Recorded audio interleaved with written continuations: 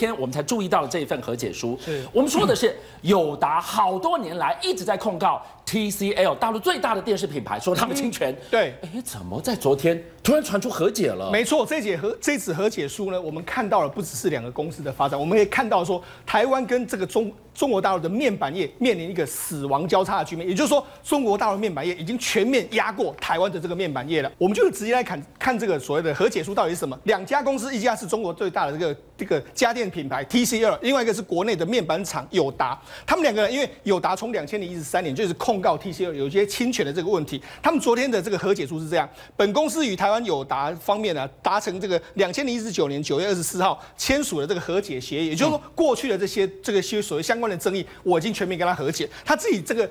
这个 TCL 自己讲哦，本次和解的达成将促进两岸同业合作，为华星光电的全球营运奠定良好的商机的基础。这个我就不懂了。今天站在友达的立场说什么，我应该维持五六年前告你的态度。对我用专利卡死你，要不然你的华星光电的什么？呃，全球营运的基础，跟我友达什么事啊？对啊，没错，大家去看了这个和解书，觉得很奇怪，为什么？因为友达是被侵权的一方啊，对人才也都被挖走啊，那友达为什么会签下这样的和解书呢对？那事实上，友达自己有讲，他说未来啊，我们为了要跟 TCL 的全面的合作发展的话，我们跟他达达成这个所谓和解的这个状况。那你看，这就表示什么？表示友达现在必须屈服在中国大陆庞大的市场之下，他是为了要跟 TCL 有更进一步的发展未来的契机啊。所以今天本来要告到底的这块肉，我宁可被你叼走，我委屈是因为市场在你那里。没错，那中国大陆的这个面板成成长到底多快？我们先给大家看一下，这个根据京东方的这预估啊，未来五年的这个 TFT LCD 的这个需求面积每年增长百分之三以上，很多地方都衰退，中国大陆还是少数能够增长了。一然后到二零二零年，也就是三年之后，中国的面板的出货量是全球第一哦，还不止这样。我们看目前的这个中国的这个京东方，目前的它 LCD 出货已经是全球第一了，还不止这样，它在显示器、电视面板还居全球第二，还有全球第三。这是这是在京东方自己公司的这个这个发展。那我们来看，中国现在还有十五条这个面板的生产线准备要进入生产，包括十点五代厂的有四条线，八点六代厂的有三条线。八点五代厂啊，还有一一条线，还有一条这个 LGD 的十点五代厂在坡州等等这些东西。那么事实上，连现在的不苹果不是说要这个 O OLED 的第二面板的这个供应厂商吗？哎，他也没有找台湾了，他就直接找了京东方啊。所以就知道说，中国大陆的面板厂商目前不只是在产能，在技术方面，更是全部玩压这个台湾。那我们再讲一个人就知道了。我们知道面板女王白维明，哎，从两岸开始这个交流以来，这个人好久没看到了。对，每一年的这个五六月的时候啊，我们国内的面板跟所谓同业都开始在期待所谓王这个百威明又要下多少多少单。可是你知道吗？一直到去年了之后，他原本是说六月要来，后来又延到这个八月，后来又不了了之，今年也没有他的踪迹。你看，所以很显然，中国大陆现在有一个策略叫做。放放弃台湾的面板，因为他们已经达成了所谓的他们这个产能跟技术自主的全面的目的。所以你看到消失的百威明，好久没有看到他，你就看到了两岸面板业的嚣张。我给大家看一个数字哦，这个和解书的后面呢、才几年前而已，大陆喊出了缺芯少屏，对那现在呢有芯又有屏。是，你看哦。二零一六，它的这个面板自足率百分之八十，对今年百分之八十五，对等到了十点五代厂，还有刚刚你提到的十一代厂都建构完成了之后，百分之一百、啊，是没错，所以你就知道说中国大陆的发展非常非常快速。那我们来讲说这个到底这个两岸的这个官司，友达跟 TCL 的官司到底是怎么样呢？主要是友达他在二零一三年的时候，因提出什么妨碍商业秘密的诉讼，控告包括什么 TCL，还有 TCL 旗下的这个多媒体，还有华星光电等等。他说主要控告连水池还有王一凡等等人，因为他说什么？因为他们这几个人呐、啊，带了所谓的商业机密，也许是他友达的自有技术前往中国大陆啊。这个所谓的自有技术，对应该是很致命的关键，不然怎么会提高？这个所谓要自有技术叫什么呢？就是现在最红的 OLED 的面板的这个技术。我们知道说，其实友达是全世界最早发展 OLED 的这个技术厂商之一哦。是没错那它所以它还有一些相关的这些机密文件。那当时呢，其实就是连水池这个人，他就是负责 OLED 面板这一块的主要的技术人员。所以在两千零一十一年的时候，他到这个中国大陆去开一个研讨会的时候，哎，他就说，哎，他已经因为他是中国要发展 OLED，所以他老早就被锁定了。所以有一个知情人士呢，就把他找过来，就说，哎，我们现在要发展这个 OLED 面板这个这个东西，那你愿不愿意来这个我们这个地方来工作？对那当然了，他他在这边想一想说，哎，目前我们这个友达好像有要放弃 OLED 这个这个面板的这个可能性啊。那这样的话，好啊，我就愿意去啊。那这个知情人士马上就跟 TCL 的总裁李东生说，哎。这个连水池要来啊，所以马上呢，连他就这个这个李东生马上二话不说中，用最好的待遇把他给我挖过来。是，所以这个知情人士马上就写了，哎。他写三年的年薪两百五十万美金，签约金七十万美金，offer 都开出来了。目标达成的奖金还有六十万美金，还有可所谓低税率啊、配房配车等等。哦，这么好的条件之下，连水池当然就马上就台在台湾提出辞呈，而且在离开友达的时候，又 copy 了很多面板相关的技术，就这样子连人带技术到中国大陆去了。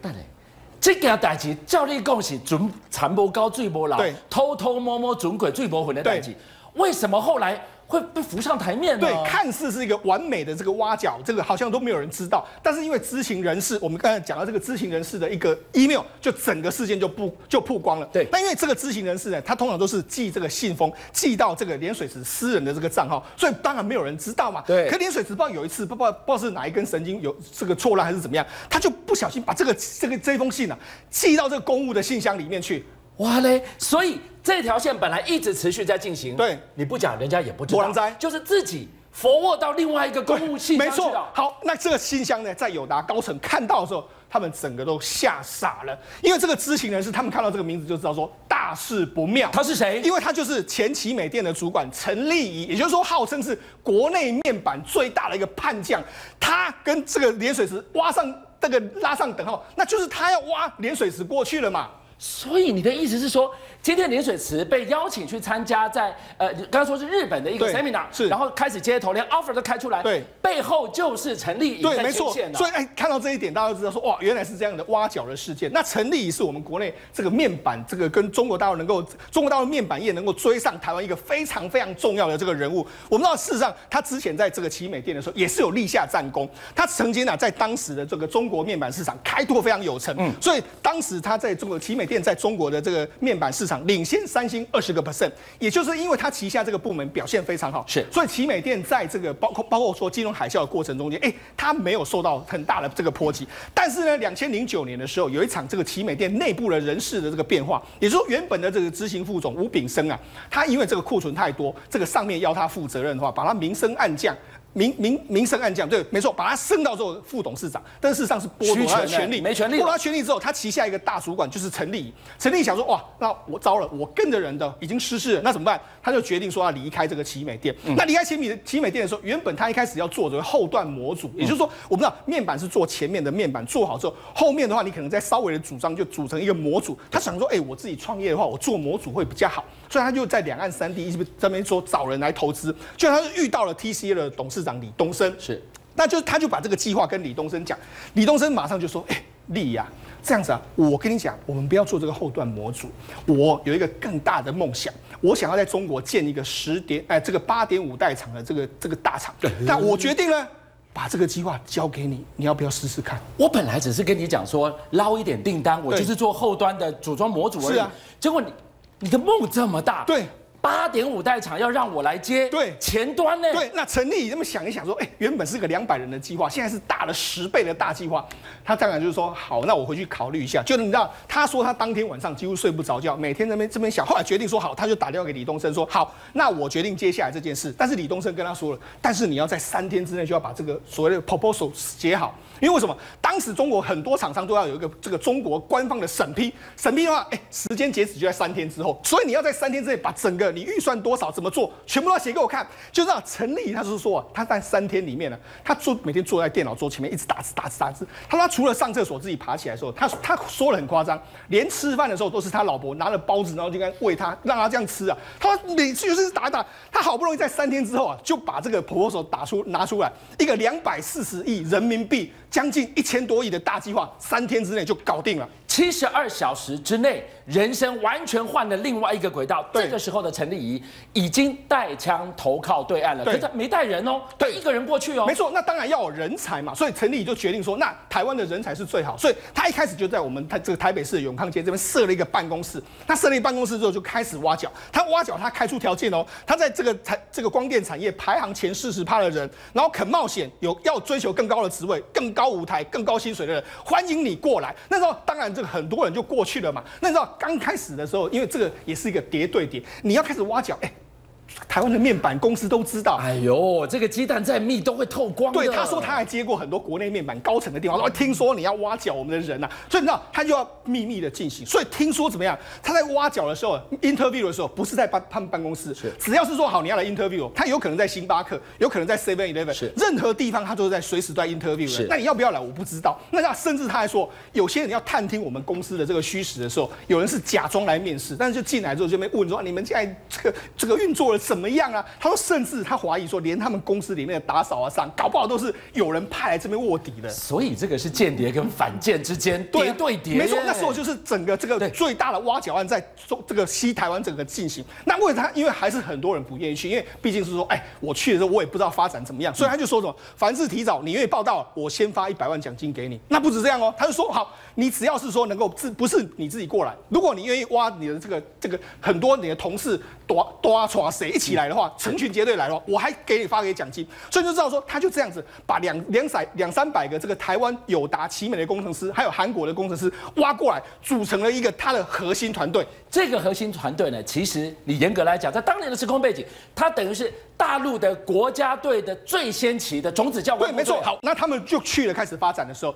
就像你知道吗？他们一开始到那个地方的时候，他们还没有场地。他们这个 T C 二只跟他说：“哎，深圳市市政府批准了这块地。”他说他们前一天呐，还在那个地上面在那边吃，那边有个土鸡场那边吃，然后旁边都是菜包，这个这个菜园在那个地方。他说他都不好意思跟那个老板说：“你们这个土地明天就要被拆掉了。”是，就这样，他们马上哎，马上就很快，市政府就整地把它整掉。整掉之后，他们动员两万个人去盖这个无无城市啊。对，两万人盖的无城市很快当然就盖好。那还不止这样，他们中国官方支持到什么程度？哎，这是民族。产业，我们一定要完成这个自主、技术自主的这个大业。深圳市政府跟你说，跟他说，哎，你现在要运这个东西，对不对？他说，他们跟这个深圳市政府说，哎，我们那个机台很大，很大，我们要这个经过这个高速公路的时候啊，那个收费台啊、收费站啊会卡住，我们过不去，那怎么办？深圳市政府听到这个问题就说，简单，把它拆掉。哇，你是说，你今天要过那个，通常会有一个天桥或什么的？你没有绕路，他拆掉天桥，就直接拆掉，然后整全市你要经过路线全部交通管制，是让你快速的就可以运到这个地方。对，虽然建厂的速度很快，你知道，它原本比这个当时还有另外一家厂商叫京东方，是京东方的建厂时间比它快早四个月，是，就你知道它后来量产的时间只有比它晚一个礼拜，你就知道这个创了历史的记录，就是八点五代厂用十七个月就盖起来，那就是一个前所未见的这个速度。那这么拼的速度，连机台要过去桥都可以为它让路。做出什么来了呢？对他们，应当然了，要你要做出来时候要量产，因为开始没有获利，你总是要做给领导看嘛。他们那时候就是说，我们决定做一个创举。就像，你知道吗？在这个中国人民大会堂里面，旁边有一个非常大的这个电视台，在播这个播放人民大会堂最新的这个状况，还有中国最新的政经局势。但是在人民大会堂里面挂着一个八十寸到一百寸的那个电视，居然是日本松下做的，因为中国没办法做。是，那这是一个中国非常这个痛的这个地方。我人民大会堂怎么会摆日本的产品呢？就那这个李东升呢，就跟这个陈立就说，那我们就来做一个，把这个换掉。他就取名，他就说我要做一个一百一十寸的电视。那这个电视取名叫什么？中华之星。这个已经有一个国足大义的高度在那个地方。对，没错。好，那他们就真的开始做，果然就做出这个一百一十寸的电视之后，他们要运到北京。就像人家运到北京的时候，他们还试飞了五次。你怎么样？这个用这个机用飞机机接到那个地方不会破掉？但是不止这样哦。他说，从这个下飞机之后，从飞机场到这个北京这个人民大会堂中间的路上，对他们是说那个移动是用什么？用一一寸一寸一公分的移动，因为怕。震动的时候会让那一块玻璃破掉。他们说移动的速度飞等于是龟速这样慢慢的前进，然后前进到人民大会堂之后，你知道迎接他们的马上这个挂上去之后，那时候当时中国的领导人包括胡锦涛啦、温家宝啦、习近平等人全部都在那边看，看到然后他们就跟他说，这是我们中国人第一次建出来的一百一十寸的这个大面板。就你知道他挂上去那一天，就是习近平宣宣誓就职，所谓他们的这个下一代领导人那一天就挂上去，挂上去的那一块面板就永远留在人民大会。因为那是中华之星，代表了中国他们自技术自主的一个永远不会抹灭的一个里程碑。所以你听到这个地方，那一百寸大电视这么挂上去，人民大会堂也正式启动了两岸面板业，最后走向了死亡交叉。不回过头来，清华带我们来看到哦，友达此一时彼一时，当时主战，现在我们刚提到了，他为了市场，他最后决定要让一步。我们仿佛也在友达的里面看到当年。有一个贾伯斯，看到现在出现了一个库克，没错，因为之前在苹果的时候，在贾博士时代就是标准的主战派。为什么？为了专利诉讼告三星，甚至告 HTC，通通都不手软。可是到了库克的时候，干嘛？选择跟市场妥协。可在友达里面呢，我们从彭双上看到，就说，哎，他是选择面对市场。可是，在友达里面的主战派是谁呢？其实就友达现在的荣誉董事长李坤耀啊。是李坤耀当时是什么状况呢？我们带大家回到两千零六年十二月那个时候，两千零六年十二月的时候，美国司法部发起一场这个所谓的反托拉斯的调查。反托拉斯调查是针对谁呢？针对很多面板大厂，哪些面板大厂呢？有这个群创，哎，就那个时候叫奇美，有奇美，然后有友达，然后有夏普，有三星，有 LG。这么多的面板大厂呢？哎，美国司法部都展开了调查。展开调查之后干嘛呢？你只有两个选择而已哦。你们这些面板大厂，两个选择。第一个选择干嘛？认罪协商，罚钱了事，孰可忍孰不可忍？哎，那第二个选择孰可忍孰不可忍之后呢？干嘛？就选择跟美国司法部打官司啊。对。那当时什么状况呢？很多面板大厂都一一的干嘛？就是直接啊，跟美国司法部直接和解认罪协商。为什么你知道吗？因为他不想担最后的风险。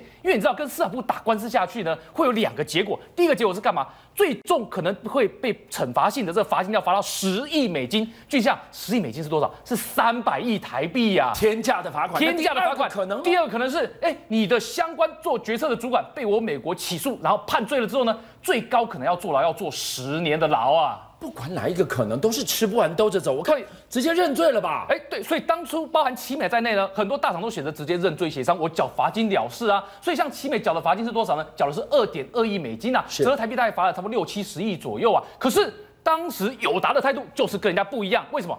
当时友达的董事长李坤耀就说：“我们没做的事。”就不能赖到我们头上，对的事情我们就要去争取，所以我们要干嘛？打官司。这官司一打下去不得了，美国司法部干嘛？哎，开始进行司法的追杀。司法追杀在二零一零年的时候呢，哎，美友达当时呢，现在总经理那个那那个呃副董事长陈炫斌，还有那个陈来柱，当时是特助，然后包括什么？这个友达前执行副总，现在嘉士达总经理熊辉，他们三个人干嘛？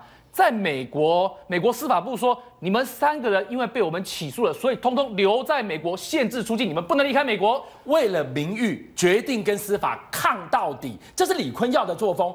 这个对一家公司，这三个都是他们的骨干，这个很伤。没错，这都是他的爱将。可是你知道吗？到了二零一二年的时候，真的判下来的时候，干嘛？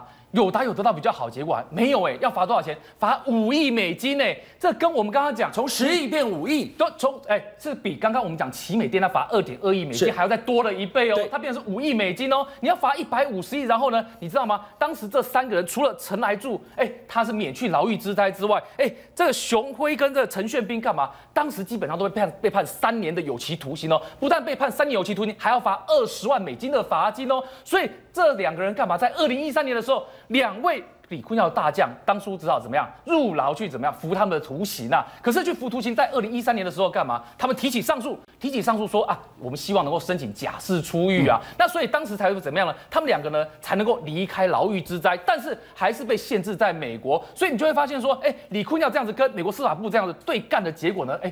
这种对主战派状况造成什么下场？他的爱将怎么样呢？受到了牢狱之灾，其中陈来柱干嘛还离职了？那然后呢？公司要不要面对罚款？还是要罚那一百五十亿的罚款？你讲到是二零一零年的这个事情，当时李坤耀他连美国司法部我都可以给你硬着来，那更不要讲你 TCL 对我是侵权，我当然告到底啊！对，没有错。所以你会发现当时的策略怎么样呢？带来的印象好像不是很好。所以你后来看到什么？看到红双拿回来，有他策略要干嘛？我们要面对现实，还要面对市场。